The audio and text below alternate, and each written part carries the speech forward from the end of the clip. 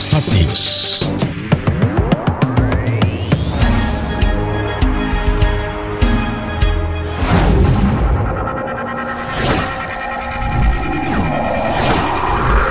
Start News Jendela informasi Anda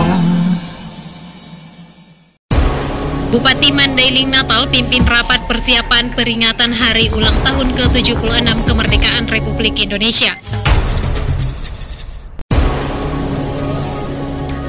Usai pimpin apel, Suhairi kampanye protokol kesehatan di Pasar Lama Panyabungan.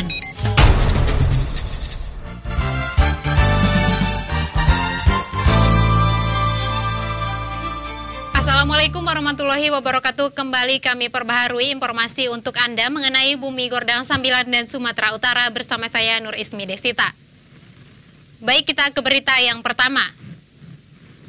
Bupati Mandailing Natal Haji Muhammad Jakfar Suhairi Nasution memimpin rapat persiapan peringatan hari ulang tahun ke-76 kemerdekaan Republik Indonesia di Aula Kantor Bupati Mandailing Natal Panyabungan Senin 2 Agustus 2021.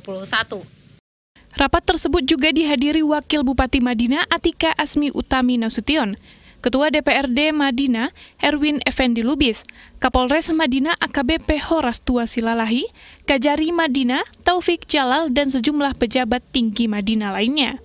Rapat tersebut menindaklanjuti surat Menteri Sekretaris Negara tentang pedoman peringatan Hari Ulang Tahun ke-76 Kemerdekaan Republik Indonesia tahun 2021. Dalam arahannya, Bupati Madinah Haji Muhammad Jakfar Suhairi Nasution juga mengatakan peringatan hari ulang tahun ke-76 kemerdekaan Republik Indonesia diadakan sesuai arahan dari Menteri Sekretaris Negara.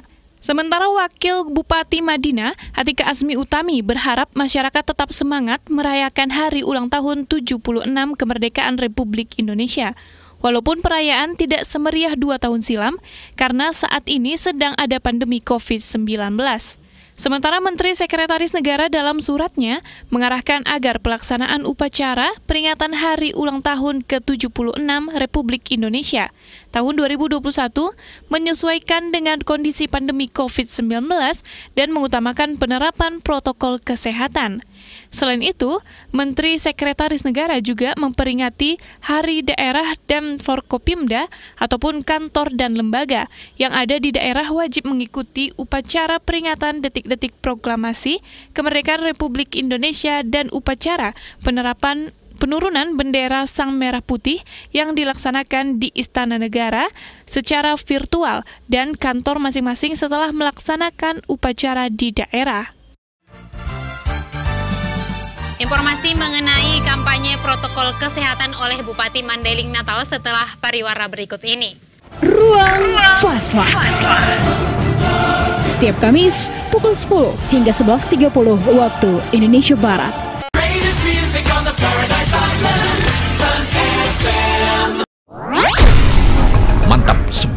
Deretan lagu terbaik Medina Tapsel.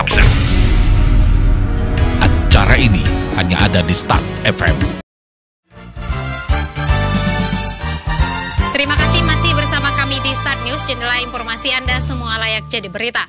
Baik kita ke berita yang terakhir.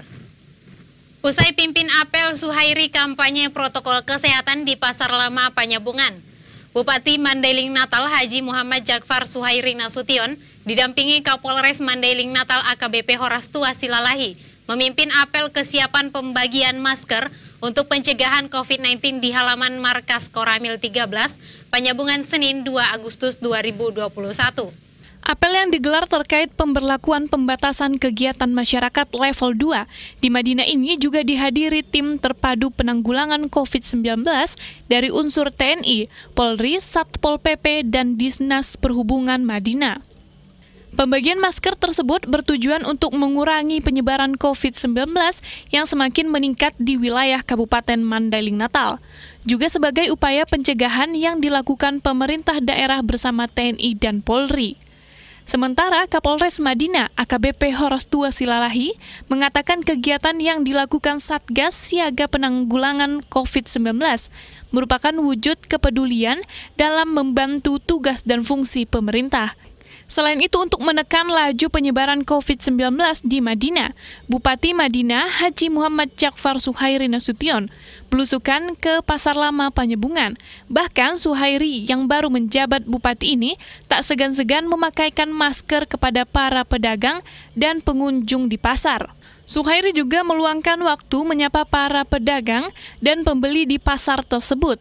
Ia juga mensosialisasikan dan mengedukasi masyarakat tentang pentingnya memakai masker, menjaga jarak, dan mencuci tangan sebagai upaya memutus mata rantai penularan COVID-19. Suhairi juga membagikan masker kepada warga yang beraktivitas di Pasar Lama Panyebungan.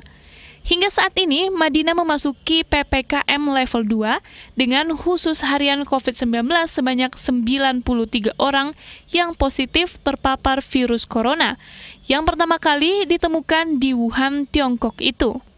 Bahkan Suhairi menyarankan agar warga yang melanggar protokol kesehatan seperti tidak memakai masker di tempat ramai dijatuhkan sanksi yang wajar seperti denda ataupun melafalkan teks Pancasila ataupun surat pendek Al-Quran.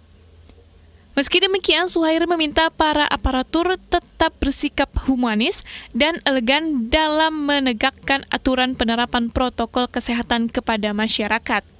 Hasmar Lubis, Ika Rodia Putri melaporkan untuk Start News.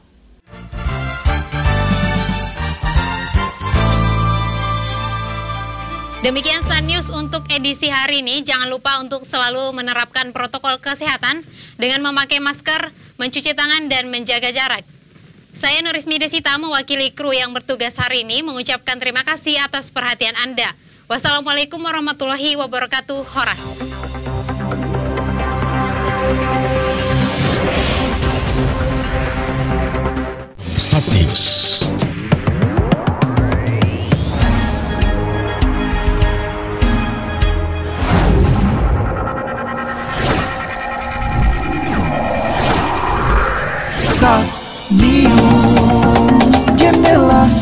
Informasi Anda